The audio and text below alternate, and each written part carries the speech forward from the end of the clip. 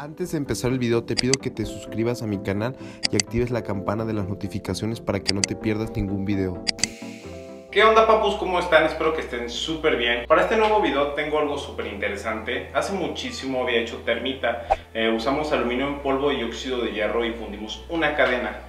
Pero esta vez quiero hacerlo un poquito más grande. Quiero hacer una super termita con muchos materiales combinados. Y antes de seguir con el video recuerden que todo lo que hacemos es con fines educativos y enseñanza. En Ice Rocket lo que nos gusta es crear no destruir. Nos gusta repartir la enseñanza. Como por ejemplo la termita se usa muchísimo en el área de los ferrocarriles, de la fundición, para elevar grandes temperaturas y poder fundir metales. Así que nosotros haremos lo mismo. Vamos a crear una super termita. Pueden notar que en la mesa tengo varios materiales. Aquí tenemos óxido de hierro, tenemos aluminio en polvo, también tenemos hierro en polvo que igual que el aluminio en polvo funciona como reactivo para usar con el óxido de hierro. Y por acá tenemos un poquito de sustancia X, que viene siendo pólvora negra. Miren, vamos a ver más de cerca lo que tenemos. Aquí tenemos el hierro en polvo, es un polvo finito, los dos, los dos paquetes son lo mismo. Aquí tenemos el aluminio en polvo, pólvora en polvo, pues obviamente. Y aquí está el oxidante. Literalmente es óxido de hierro en polvo. Como pueden ver, pues literalmente es puro polvo. Por eso que es súper importante la mascarilla cuando vayamos a hacer la preparación para evitar las partículas finas. Vamos a combinar todos estos materiales de manera equitativa y crearemos super termita. Y antes de continuar, me gustaría comentarles que cuando manejen polvos así de finos, de minúsculos, es súper importante usar una mascarilla, un cubrebocas, cualquier cosa que se interponga entre los polvos y su respiración, porque si ustedes respiran los polvos, se van a los pulmones y causa muchísimo daño. Así que es súper importante siempre usar el equipo de protección. La receta que usaremos es súper sencilla. Vamos a poner 50% de oxidante, que viene siendo el óxido de hierro, 25% de reactivo, que lo vamos a dividir entre el aluminio y polvo y el hierro en polvo, y el otro 25% va a ser de pura pólvora. El compuesto que yo tengo menos es el óxido de hierro.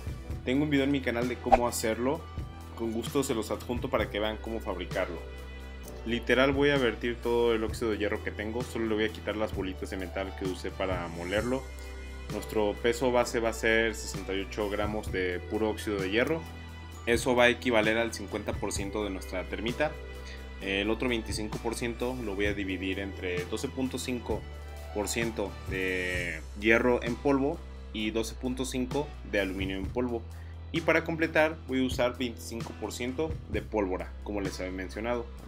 Y de igual manera, si quieren saber cómo se fabrica la pólvora negra, les voy a adjuntar un video en la descripción para que vean paso a paso cómo se hace.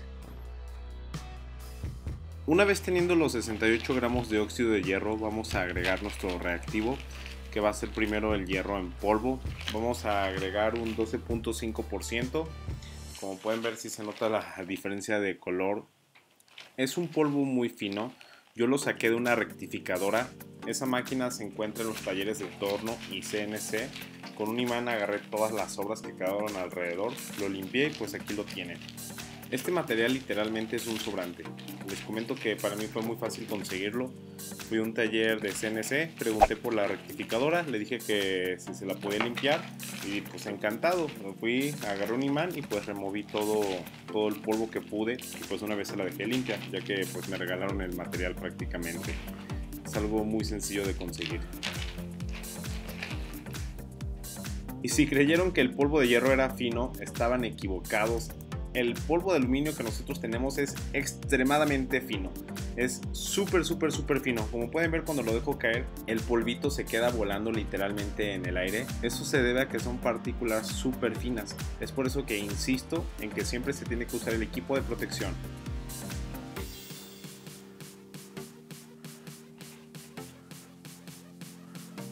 Es momento de añadir el polvo en aluminio a la mezcla.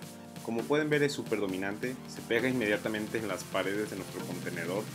Ya les he dicho que es súper fino, entonces este va a ser como el reactivo principal de la sustancia.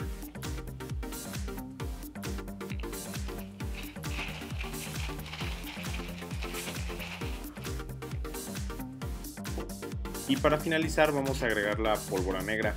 Esta cuando la fabriqué me encargué de que fuera extremadamente fina, así que va a ir de la par con toda nuestra mezcla. Se va a llevar muy bien porque las partículas son muy pequeñas.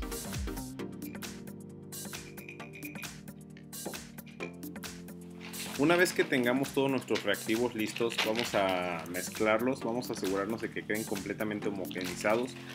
Para eso yo los voy a echar en una bolsa de Ziploc Hago esto porque no quiero estarlo pasando de traste en traste, de topper en topper, porque las partículas son muy finas, así que se escapan por todos lados. Prefiero tenerlas en un solo lugar, asegurarme de que ya no se escape el polvo, dejarlo sellado y revolverlo extremadamente bien y con ello asegurar una homogenización completa. En esta pequeña toma que tenemos más de cerca podemos ver los pequeños cúmulos, las pequeñas partículas finas, la diferencia de color. Es súper curioso y con cualquier movimiento que hacemos pueden ver cómo se levanta el polvo. Es impresionante.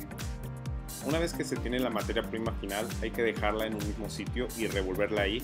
No hay que estarla traspasando de lado a lado, ya que eso va a generar humedad se puede generar una contaminación con el medio ambiente ya que hay muchas partículas y polvos alrededor volando y además vamos a ir perdiendo cantidad y calidad de producto, así que ya no hay que moverlo del lugar.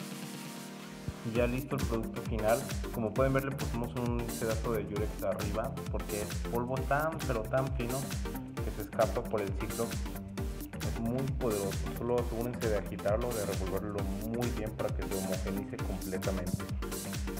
Y listo señores, ya tenemos la termita más poderosa del mundo.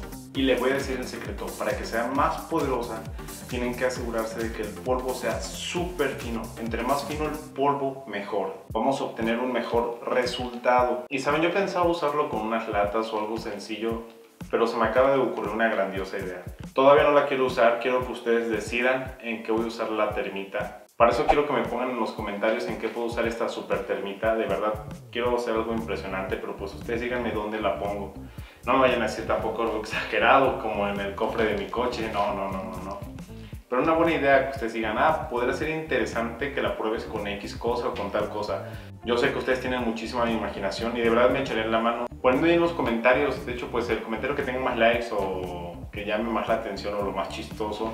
Hasta un mensaje en mi Instagram que me pongan algo interesante, usamos la termita. Son 140 gramos de poder puro, así que usen la imaginación por favor. Y recuerden, todo esto lo hacemos con fines educativos, no lo vayan a hacer en su casa ni de broma. Es para que aprendan y conozcan más acerca de la química.